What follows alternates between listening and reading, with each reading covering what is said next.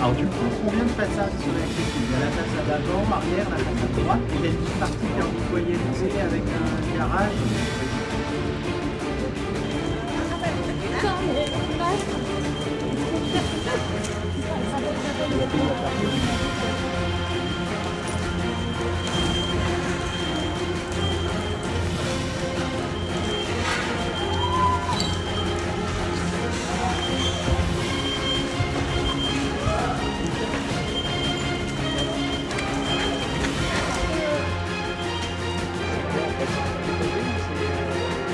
Et voilà, c'est quelque chose qui est pas.